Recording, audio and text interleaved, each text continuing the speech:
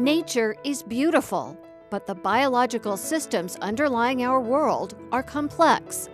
A new educational tool helps students make sense of the complicated network of relationships in a biological system. Otherwise, you can get out your computer and just like last Students in an introductory biology class use software developed at the University of Nebraska Lincoln with funding from the National Science Foundation. The software complements lectures and labs.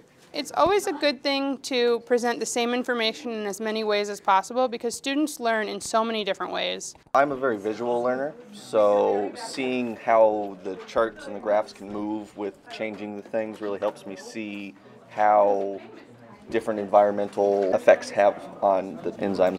The software is the result of a collaboration between life sciences professor Joe Dauer and biochemist Thomas Helikar. Uh, in this uh, chart here, we'll see the different dynamics and computational models allow students to manipulate scenarios and see what happens. So when we teach students the traditional way using memorization, they miss out on this complex and dynamic nature of, of biological systems. And so with the computational models, we're able to give them a little bit of, of, of this experience. Part of that process of becoming an expert in biology is putting all those pieces together, not just learning everything in, in its own little compartment. So I think that, that this module just helps reinforce that idea that it is about the connections more than just knowing one concept at a time.